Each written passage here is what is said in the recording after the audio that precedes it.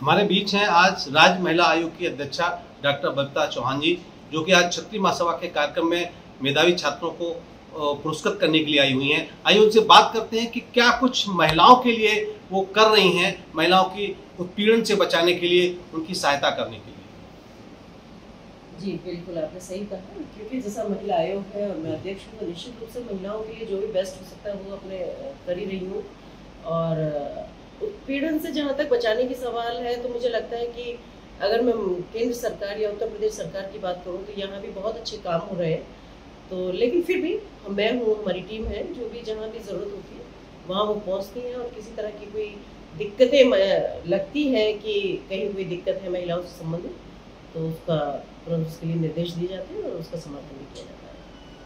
बबीता जी खासतौर से आगरा जोन में एक बहुत महत्वाकांक्षी कार्यक्रम चलाया गया था महिलाओं के लिए ऑपरेशन जागृति। उसके तहत महिलाओं को ये सिखाया गया कि वो किसी की ढाल न बने। यानी झूठे मुकदमे महिलाओं के नाम से जो कराए जाते हैं उसमें महिला भी उत्पीड़ित होती है और पूरा समाज भी उत्पीड़ित होता है। इस पर आप क्या कहेंगे? जी बिल्कुल। आपको मैं बताना चाहूँगी कि जो मेरा पहला कार्यक्रम है मतलब जो पहला शेड्यूल मेरे कार्यक्रम का बना है वो है अवेयरनेस के लिए। अवेयरनेस किसी भी चीज़ के लिए है। अगर महिलाओं के लिए अवेयरनेस की बात की जाए, वैसे तो मैं कहती हूँ कि अवेयरनेस तो ऐसी चीज़ है कि जो समाज में किसी को भी होना चाहिए, जहाँ जो अवेयर नहीं है। बट लेकिन फिर भी मैंने कहा है कि इस अवेयरनेस के लिए लोग हमारी जो टीम है, वहाँ जाएँगे, वो ब्लॉक स्तर पर इन सब मीटिंगों करेंगे। अभी तक क्या होता था, जैसे कि पहले शहरों में ये सब चीज़ें होती थी, बट मुझे लगता है कि शहरों में अवेयर करने की उतनी ज़रूरत नहीं है। जितना को आपको बिल्कुल नीचे के साइड में जाने की ज़रूरत तो निश्चित रूप से हमारी तरफ़ से भी अवेयरनेस के लिए प्रोग्राम चलाए जाएँगे और बैठकें भी होंगी। बड़े बड़े सेमिनार होंगे, जिसमें हमारी बहुत सारी जितनी भी हमारी संस्थाएँ हैं जितना भी हम, उन सबको इन्वॉल्व करते हैं। और इसके लिए हम बहुत जल्दी बहुत अच्छे प्रोग्राम बनाने वाले हैं। महिलाओं की आबादी समाज में लगभग पचास फ़ीसदी है और खासतौर से जो कानून व्यवस्था का मुद्दा उठता है, वो भी महिलाओं को लेकर उठता है। उनके प्रति अपराध होते हैं, बच्चों के प्रति, स्कूली छात्र छात्राओं के प्रति। तो इसमें आपका जो महिला आयोग है, जो आपने अभी इसका पद ग्रहण किया है अध्यक्ष का। तो क्या आप इसमें सुधार करेंगे? क्योंकि बहुत पहले से चला रहा है, बहुत सी चीज़ें ऐसी हैं जो अपडेट होनी चाहिए। वो आप क्या कहेंगे? देखिए, मुझे नहीं लगता कि कोई चीज़ ऐसी है जो पेंडिंग है कि जिनको अपडेट करने की ज़रूरत है। लेकिन अगर कुछ है भी तो वो निश्चित रूप से कि जब मैं कार्यालय पहले टाइम बैठी तो मैंने निकाला, सारी चीज़ों को देखा, क्योंकि दो साल से गठन नहीं था महिला आयोग का। तो वहाँ जो मुझे कुछ ऐसा लगा कि कुछ केसेस भी पेंडिंग थे, कुछ थे तो वो सारी फाइलें निकाली और मैंने उनका सबका संज्ञान भी लिया।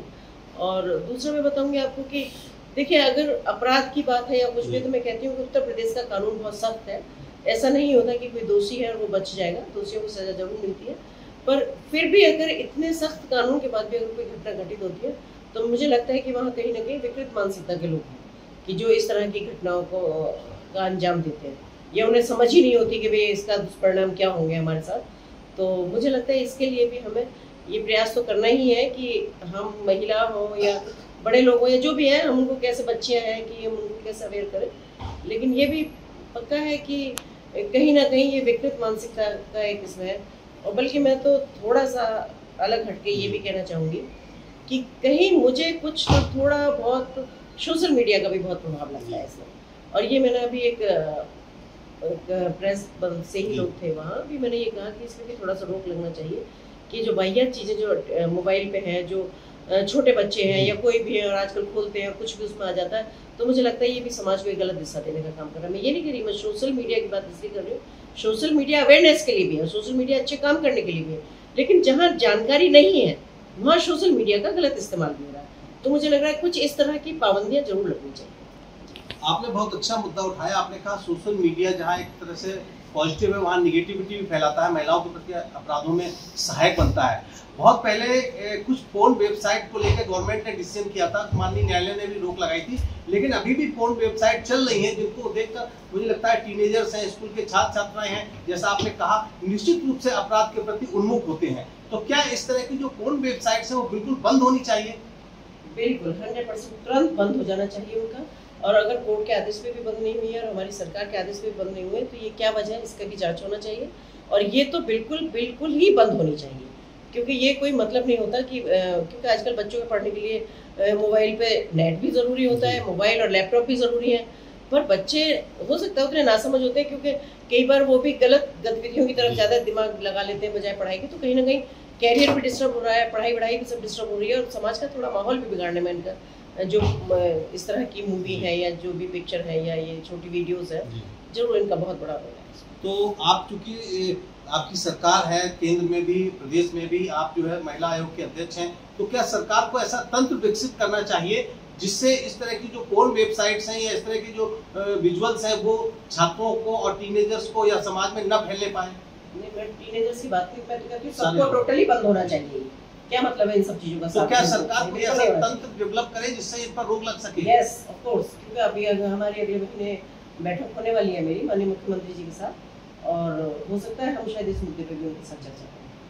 अभी कलकत्ता में एक मेडिकल कॉलेज की डॉक्टर थी उसके साथ जघन्य घटना हुई जिसका आज माननीय मोहन भागवत जी ने अपने भाषण में भी ज़िक्र किया है। समाज में ऐसी घटनाएँ निश्चित रूप से कलंक है। एक बार बलात्कारियों के लिए फांसी की भी मांग की जा चुकी है और पूरा हमारा देश इस बात को लेकर उद्वेलित है। तो क्या आप मानते हैं कि बलात्कारियों को फांसी की सजा होनी चाहिए? बिल्कुल होना चाहिए। दोषियों को बिल्कुल जब तक उनको सजा नहीं मिलेगी तो ये सब नहीं होगा। रहा कोलकाता की बात तो कोलकाता में दोषियों को बचाया जाता है। हमारे यहाँ दोषियों की सजा का प्रावधान है और तुरंत उनको सजा मिलती भी है। तो कोलकाता की बहुत ही दुर्भाग्यपूर्ण मैं कहूँगी कि जो स्थिति है वहाँ ये तो आप एक मुद्दा है जिसको कि हाईलाइट हुआ इसलिए उसका सब आप एग्ज़ाम्पल दे रहे हैं। अदरवाइज़ वहाँ तो आप रोज देख लीजिएगा। रोज मेडिकल कॉलेज की कॉलेज की घर में काम करने वाली रोज हम देख ही रहे हैं रोज सोशल मीडिया के थ्रू तो वहाँ तो एक बहुत ही भयंकर सी स्थिति है जिसको मैं कहना चाहूँगी। पर अगर उत्तर प्रदेश की बात की जाए तो निश्चित रूप से यहाँ दोषियों को सजा मिल रही है और इसका प्राविधान भी है। मैंने भी कहा जहाँ यहाँ इस तरह के केस होते हैं तो वहाँ कहीं ना कहीं विकृत मानसिकता उसमें रहती है मनुष्य अदरवाइज़ तो जान जान पूछ के तो कोई इस तरह के काम करने की कोशिश उत्तर प्रदेश में तो नहीं करेगा। तो बहुत बड़ा आरोप लगाया है, खासतौर से आपका सारा ममता बनर्जी की तरफ़ है, उनकी सरकार की तरफ़ है तो वहाँ दोषियों को बचाया जाता है। तो किस तरह से आप मांग करेंगे शासन से, प्रशासन से चूँकि वो भी एक भारत भूभाग का अंग है तो वहाँ भी महिलाओं की और बच्चों की सुरक्षा करी जाए? मांग क्या करनी हम तो कहेंगे तो पब्लिक सोचे वहाँ जो इतनी रह रही है जितना उनका अपमान हो रहा है जितना उनके उनको मतलब मैं क्या ही बताऊँगी क्या हालत हो रही है आप देखेंगे बंगाल में जाके। पूरे बंगाल की बात कर रही हूँ अकेले कोलकाता की बात नहीं कर रही हूँ। तो मुझे लगता है कि इसमें कहीं ना कहीं जनता को भी सोचना चाहिए कि भाई हमें क्या करना है। और जनता खुद समझदार है जनता देखती भी है और जानती भी है। पर वजह क्या है? क्यों जनता इतना सह रही है? ये समझ में नहीं आ रहा। तो मुझे लगता है कि वहाँ भी अवेयरनेस अवेयरनेस की बहुत ज़रूरत है और वहाँ कुछ ना कुछ ऐसा होगा। कि जो बदलाव होगा और जल्दी होगा। अभी जब आप यहाँ राज्य महिला आयोग के अध्यक्ष बने तो थोड़ा सा डिस्प्यूट भी रहा। अपर्णा यादव ने इस पद को लेने से मना कर दिया उपाध्यक्ष का और काफ़ी बाद में मान मनोबल के बाद वो मान गई तो अब कैसा माहौल है? आपकी बातचीत होती है सब सामंजस्य चल रहा है। देखिए ये तो मैं आपके के माध्यम से सुन रही हूँ। अदरवाइज़ तो जब मैंने ज्वाइन किया था तो अपर्णा जी ने ज्वाइन किया और हमारा तो बहुत अच्छा चल रहा है। बहुत ही सब कुछ हम सब साथ हैं बहुत अच्छा मिलकर काम कर रहे हैं। मेरे को कभी ऐसा नहीं पता कि उन्होंने कभी छोड़ने की कोशिश की या मान मनोबल करना पड़ा।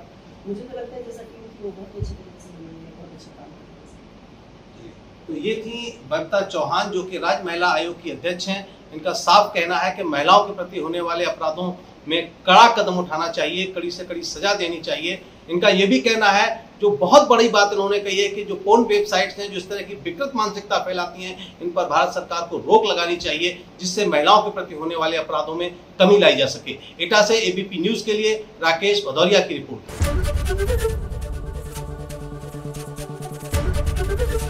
एबीपी गंगा, खबर आपकी, जुबा आपकी।